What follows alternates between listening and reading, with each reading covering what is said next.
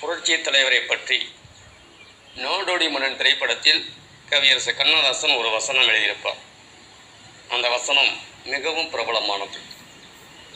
எம்ஜிஆர் பேசுவதாக அந்த வசனம் இருக்கும். என்னை நம்பி கெட்டவர்கள் யாரும் இல்லை. நம்பாமல் கெட்டவர்கள் ஏராளம் என்ற அந்த வசனம்.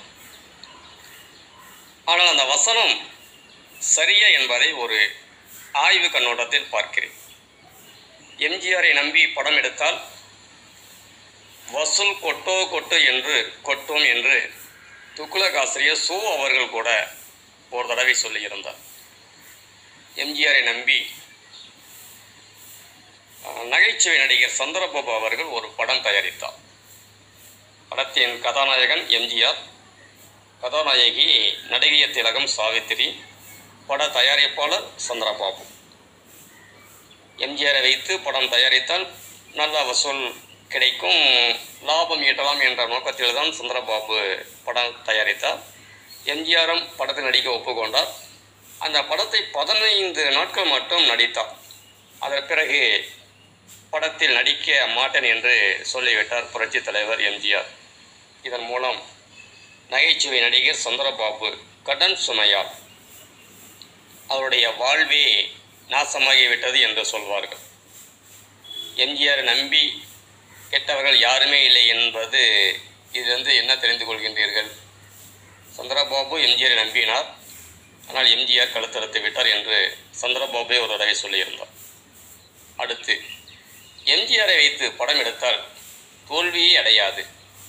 வசூல் கொட்டோ கொட்டு என்று கொட்டும் என்று மகாதேவி என்ற ஒரு படத்தை தயாரித்தார்கள். எம்ஜிஆரை கதாநாயகனாக வைத்து. கதாநாயகி சாவித்திரி.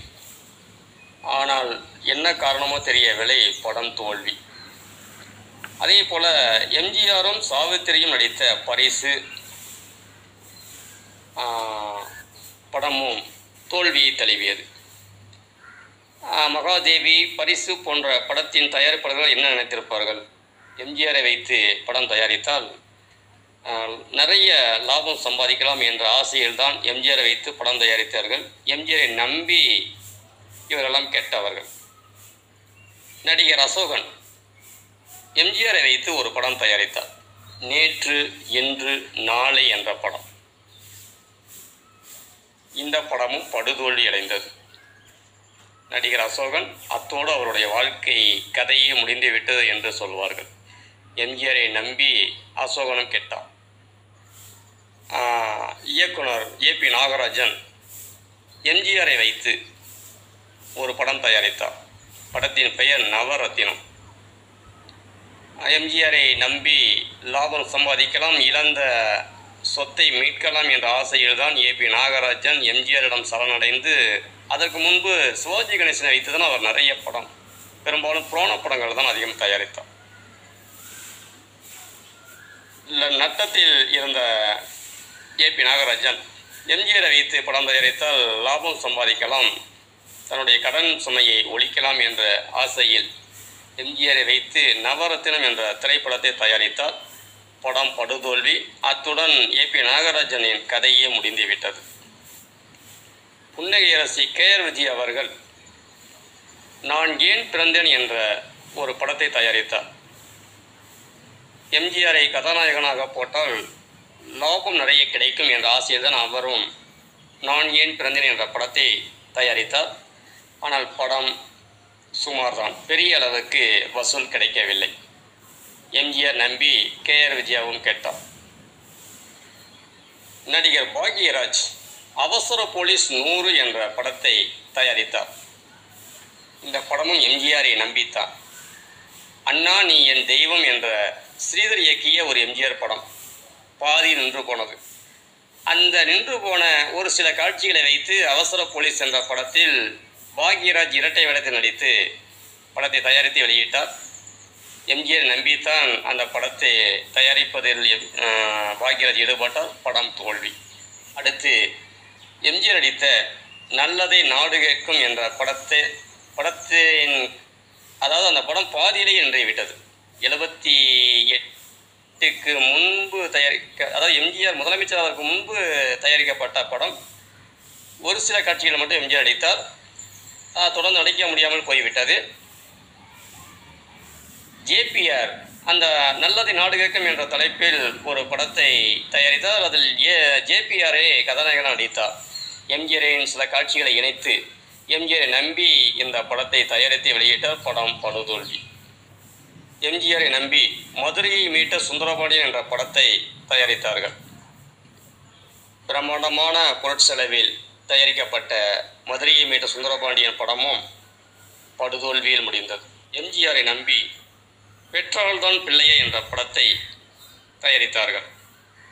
இந்த படத்தில்தான் எம்ஜிஆருக்கும் எம் ஆர் ராதாவுக்கும் பிரச்சனை ஆரம்பித்து எம் ஆர் ராதா ராமாவரம் தோட்டத்தில் எம்ஜிஆரை சுடும் அளவிற்கு போய்விட்டது. எம்ஜிஆரை நம்பி பெற்றோர்தான் பிள்ளை படத்தை தயாரித்த வேலு படம் தோல்வியில் ரொம்ப சிரமப்பட்டான்.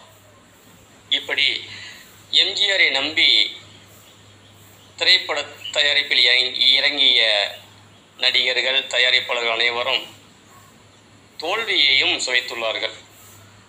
பல படங்கள் எம்ஜிஆர் நடித்த பல படங்கள் தோல்வியில் முடிந்தது. தயாரிப்பாளருக்கு பெருத்த நஷ்டமும் ஏற்பட்டது. இப்படி இருக்க. எம்ஜிஆரின் ஆஸ்தான வசனகர்த்தா. சண்முகம் என்பவர் ஒரு பேட்டியில் சொன்னார் கர்ணன் என்ற திரைப்படம் சிவாஜி கணேசன் கதாநாயகனாக நடித்த படம். அந்த படம் தோல்வியடைந்தது. அது விஷயமாக சண்முகம் சொன்னது அந்த படத்தில் எம்ஜிஆர் கதாநாயகனாக நடித்திருந்தால் படம் வெற்றி பெற்றிருக்கும் லாபம் ஈட்டியிருக்கலாம் என்று சொன்னார். இது கூட எந்த அளவிற்கு உண்மை என்று தெரியவில்லை. ஏன்னால் எம்ஜிஆர் நடித்த பல படங்கள் தோல்வியில் முடிந்தது. எம்ஜிஆர் நம்பர் ஒன் நடிகர். அந்த காலத்தில் நம்பர் ஒன் நடிகையாக இருந்த நடிகை சாவித்திரி நடித்த சில படங்கள் தோல்வியில் முடிந்தது. எம்ஜிஆரும் கே ஆர் விஜய் நடித்த பல படங்களும் தோல்வியில் முடிந்தது. எம்ஜிஆர் லதாவும் நடித்த நேற்று இன்று நாளை மதுரையை மீண்ட சுந்தரபாண்டியன் போன்ற படங்களும் தோல்வியை தழுவியுள்ளது. ஆக எம்ஜிஆர் நம்பியவர்கள் நஷ்டமடைந்ததாகவும் வரலாறு இருக்கிறது. எம்ஜிஆரை நம்பி கெட்டவர்களும் இருக்கிறார்கள் என்றே சொல்லலாம்.